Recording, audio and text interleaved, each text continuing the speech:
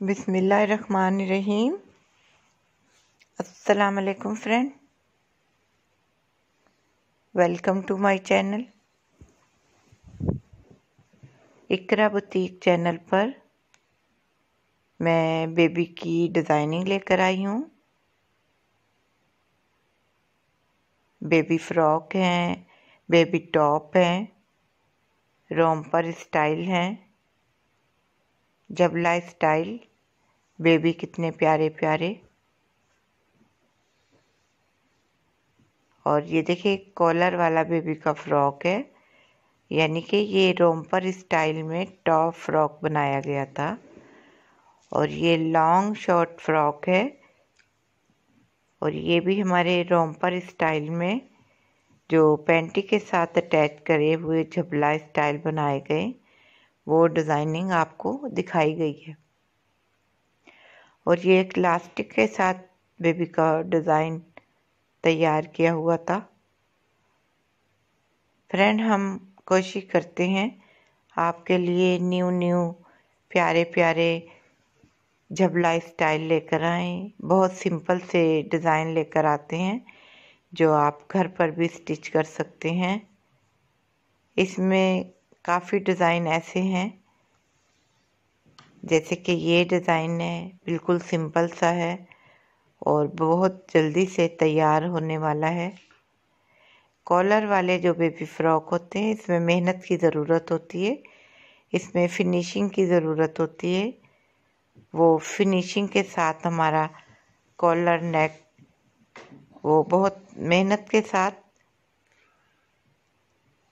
बनाना पड़ता है और मेहनत से ही कॉलर की डिज़ाइनिंग प्यारी प्यारी बनती है। और इस तरह के सिंपल फ्रॉक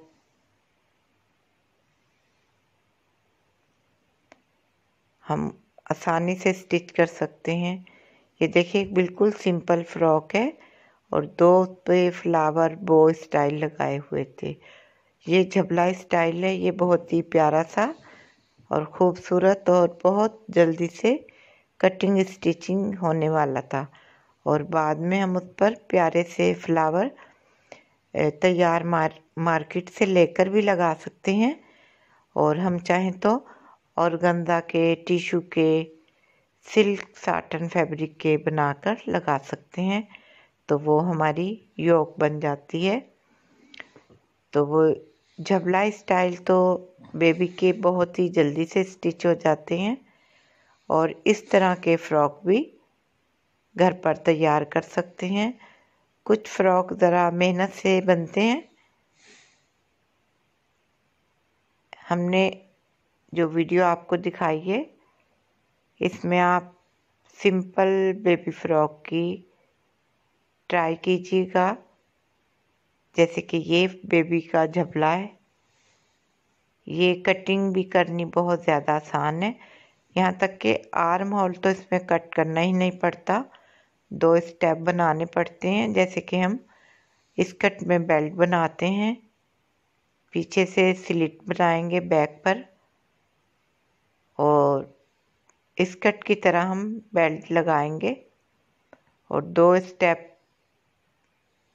डबल सिलाई लगाकर स्टिच कर कर उसको सीधा करेंगे। प्रेस कर कर फिनिशिंग के साथ लगाएँगे और वो हमारा झबला स्टाइल बन जाएगा। जैसे ये दो स्टेप लगाए गए हैं। इससे पहले वाले झबले के लिए मैंने आपको जो बताया था। फ्रेंड, बहुत सारी दुआएँ आप लोगों के लिए। अल्लाह हाफिज़। खुश रहें। आमीन।